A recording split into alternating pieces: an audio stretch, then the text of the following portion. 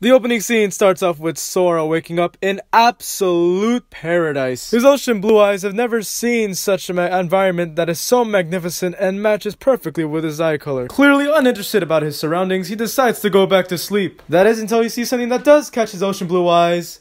A girl.